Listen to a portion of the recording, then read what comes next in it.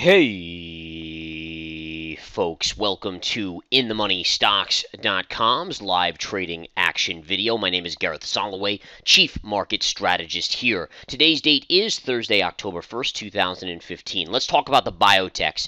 Biotechs are down slightly today, but I want to tell you this biotechs are going to continue going up in the short term. What do I mean? Well, just earlier this week, I called for a bounce when we were trading around the 290 range and we went to about 303. So we're still about $10 above that level. But I'm here to tell you that the bounce is not even close to over. You're going to see the biotechs go to the 310 and then potentially as high as 325 before they top out. You might say, well, well, why do you think that? Well, just take a look at the levels. First of all, this is the daily chart. Notice how you hit a perfect little double bottom right here, which signaled the bounce to the upside. Then look at the last couple days, and this is really important. Let's go to the intraday chart right now.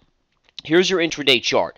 Look at how biotech put in the low, higher low, equal to that with the double bottom, so never went below this initial low here, and then these are higher lows. So you got higher lows forming. Then look at the price action today. I think today's price action is probably spelling out the best signal to the upside. What do I mean by that, folks? Take a look at the SPY. All right, the SPY down today. We're still down 55 cents, about a third of a percent. We were down close to uh, three quarters of a percent. What was the biotech index doing today? The IBB basically flat along this line. What that tells me again that you didn't see a sell-off. And again, let me show you that here. All right, see how the market sold off like this?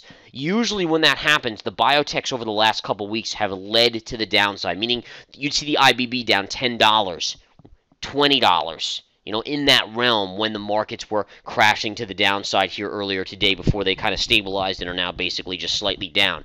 That did not happen with the IBB. The biotechs did not move lower. And again, you can even make a case that you have a nice bullish consolidation pattern here. What you're looking for is a break of this area right here, which matches the 200 moving average on the intraday 10 minute chart. When you take that out, which is around the 303 level, you will head to 310. If you take out 310 on a closing basis, 325 is your next stop.